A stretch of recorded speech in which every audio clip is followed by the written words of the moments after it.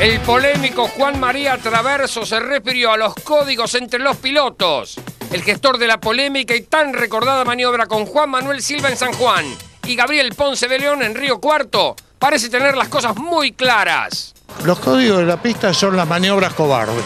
Vos podés ganar un puesto con una maniobra antideportiva, siempre y cuando vos te arriesgues en la misma medida que el otro. Si vos querés hacer una maniobra arriesgada y me ponés en riesgo, la acepto siempre y cuando vos compartas el riesgo conmigo.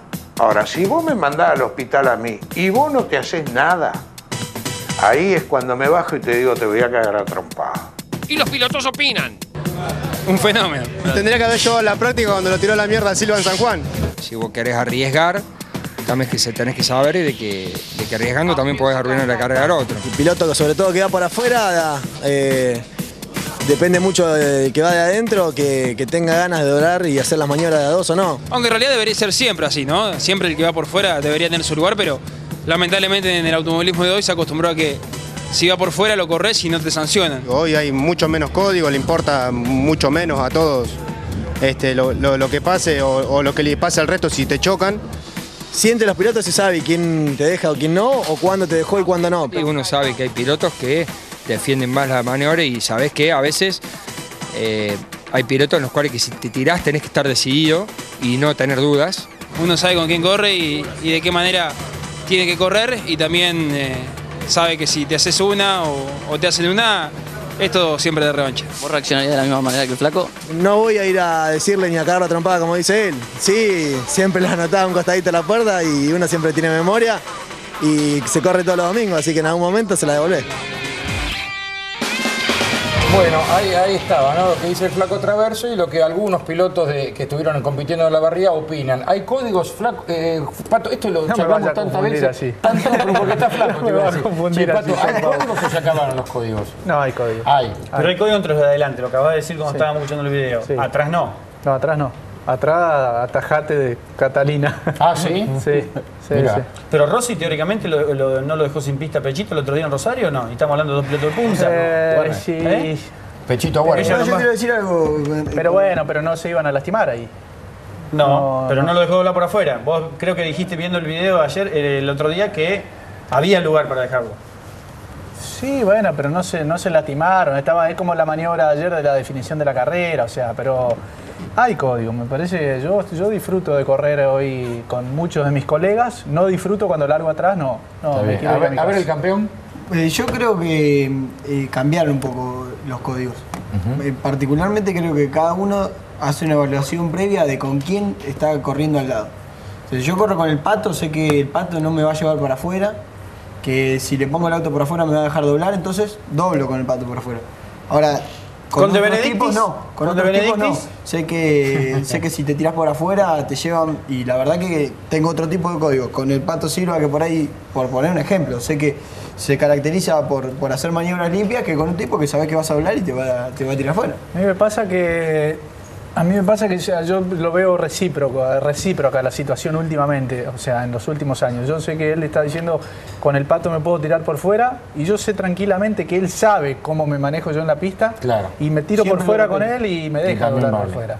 Me Ahora, parece que no. nos, nos conocemos, nos conocemos y, y a mí, gracias a Dios, este eh, no, no me va mal siendo, o sea, no, no- no me molesta que me pasen por fuera porque sé que cuando voy a, me voy a hacer una maniobra arriesgada, este, el piloto que me conoce dice, o sea, lo, lo respeta. Eh, Girolami, así como saben quiénes son los que respetan, ¿se sabe también quiénes son los que no respetan? Sí, se sabe. y, y creo que los jóvenes tomamos más riesgos que los pilotos que, que ya son consagrados y que tienen más experiencia. De a poco van pasando los años y uno quizás va cambiando la forma de correr, se va tranquilizando. Pero tomar y- riesgos no es no tener tomamos- códigos, me parece. Son dos No, cosas no, distintas, sí, me parece. Sí, pero, eh, pero creo que los jóvenes se han visto maniobras más arriesgadas de nosotros, los jóvenes, que de pilotos ya que las han hecho en su momento. A ver, a ver, Bebu, digamos, lo- los que patearon el tablero de los códigos fueron los pilotos jóvenes, como habitualmente sucede en todo el deporte. Vos tuviste muchos toques en recta, con Ortelli en Sí. Punta del Este, tuviste uno en Treleu con dos Sí. autos más. Tuviste uno en el Top Race acá y creo que hay otro más, no me acuerdo si General Roca Sí. o no me acuerdo. Fueron- Eh, ¿Y a eso te referís que te tranquilizaste? ¿Tenés otros códigos que hace No. 3, 4 años? Quizás de esos errores sí he aprendido y, y me he concentrado en la recta, quizás que mantener la, la- la misma trayectoria y saber que el que, tiene, que viene pasando, te viene pasando y bueno, tenés perdida la posición. Eh, como me gustaría también de la misma manera que cuando yo hago una maniobra me respeten, o sea, creo que los errores que he cometido los tomé como, como experiencia y los supe capitalizar. Espataro, ¿vos qué opinas? Vos sos un tipo ya de mucha experiencia. Yo creo que. Ah, te quiso decir viejo, yo no quiero decir No, nada. no, no, no. Espataro- De Tengo un par de canas, tengo un par de canas. El Pataro es de los que tiene la listita, la libretita negra. Que no me para borró ya. No es para ir a la carnicería. Sí, te borré ya. Tenés una- ¡Vamos! No digo la listita de verdad, pero la tenés acá la listita. Sí, pero más allá de eso, creo que hay códigos y, y sabemos contra quién corremos, ¿no? Eh, y después, más, por más que muchas veces decimos, a este lo tengo anotado, después te toca y por ahí no lo, no la justiciás. No la justiciás Depende porque- de la curva. Sí, no, se depende de la curva, depende de muchas cosas, pero la realidad eh, es que como cada uno tiene su pro- sus propios códigos, el flaco en su momento tenía sus propios códigos. No es, no es que eran los códigos de la época, eran los códigos del flaco. O sea, si el flaco estaría corriendo todavía, seguiría manteniendo los mismos códigos que en aquella época, ¿no? Y, lo mismo si a nosotros, a cualquiera de nosotros, nos hubiera tocado correr contra ellos, creo que cada uno, cada persona tiene sus códigos, más allá de, los, códigos que hay eh, en, en el ambiente, ¿no? Cada persona tiene sus códigos para correr. Está bien, eh, para cerrar este tema, te pregunto a vos, Tanito, para cerrarlo.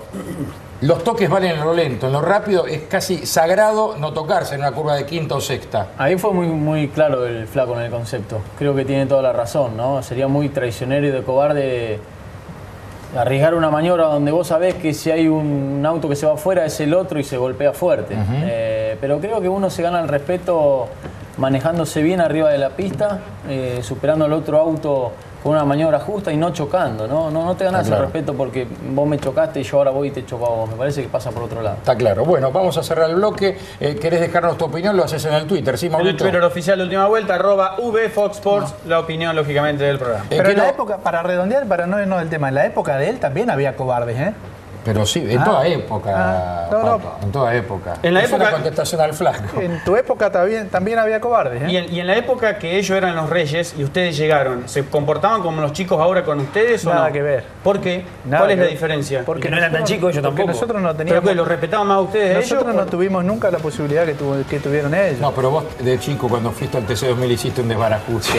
Y bueno, por eso. por favor, no me hagas entrar en esa historia porque pero, pero- yo, ¿eh? pero era, era, bravo, era bravo llegar, ¿eh? Era bravo, pero vos hiciste un lío a través Tengo- que hacer la pausa, tengo que hacer la pausa. Es un tema para tocar En otro el- programa, En, otro Luis. programa. En el próximo bloque, el podio de Feito. El podio de Feito.